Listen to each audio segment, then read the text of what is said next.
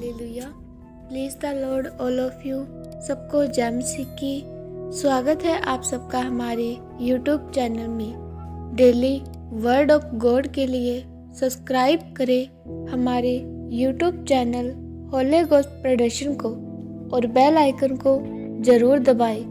आइए, हम मेरी भविष्यवाणियों की पुस्तक में से आज के पवित्र वचन को पढ़ते हैं, जो परमेश्वर के दास प्रेरित, अंकुर यूसुफ निरुला जी के द्वारा लिखा गया है।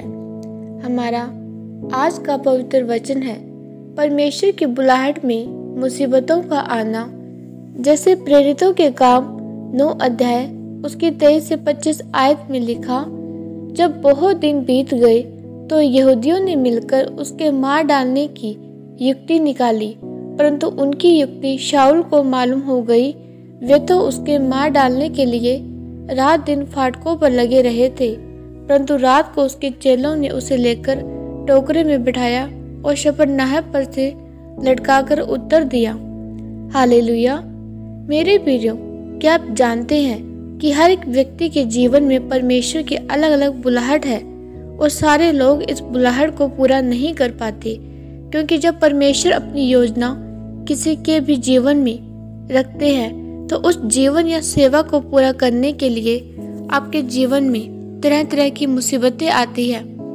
जिस तरह हम बाइबल में प्रेरितों के काम की पुस्तक में प्रेरित पोलोस के बारे में पढ़ते हैं कि पोलोस के जीवन में परमेश्वर की एक बड़ी योजना थी कि वह परमेश्वर का दास होकर, यानी परमेश्वर का प्रेरित होकर उसकी सेवा करे।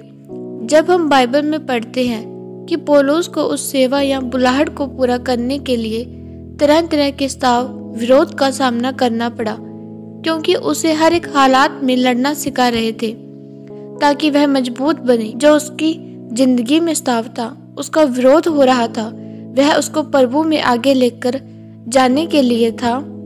मेरे प्रियो, ऐसा क्यों होता है कि जब आप परमेश्वर की योजना के नीचे होते हैं तो उसकी ज़िंदगी में स्ताव विरोध और लड़ाई झगड़े होते हैं। वह इसीलिए ताकि शैतान आपको उस योजना को पूरा करने से रोक सके। अगर एक व्यक्ति परमेश्वर की सेवा के लिए चुना गया है और उसका अपने परिवार के साथ ज़्यादा लगाव है तो शैतान आपके परिवार पर हमला करता है ताकि वह परमेश्वर से दूर हो जाए और अपनी बुलाहट को पूरा न कर सके। अगर किसी का अपनी मित्र से ज़्यादा लगाव है तो शैतान उस मित्र पर हमला करता है और उसे परमेश्वर की योजना को पूरा करने से रोकता है। जैसे पोलोस के जीवन में शैतान ने विरोध को इस्तेमाल किया, पर पोलोस परमेश्वर में बना रहा। बाइबल में अगर आप किसी भी नबी के बारे में पढ़ते हैं तो उनके जीवन में परमेश्वर की योजना को पूरा करने के लिए तरह तरह की मुसीबतें आई, पर उन्होंने परमेश्वर और अपनी योजना में बने रहकर परमेश्वर की सेवा को किया। इसीलिए मेरे प्रियो, अगर आप परमेश्वर की योजना के नीचे हैं और आपके जीवन में तरह तरह की मुसीबतें आ रही है तो आप उनसे निराश हो, होकर नहीं बैठना, घबराना नहीं है, बल्कि परमेश्वर पर भरोसा रखना और उसके वचन में बने रहना है। परमेश्वर आपको इस वचन के द्वारा आशीषित करे। आमीन। यह अंगीकार आपकी तरफ़ से किया जाए।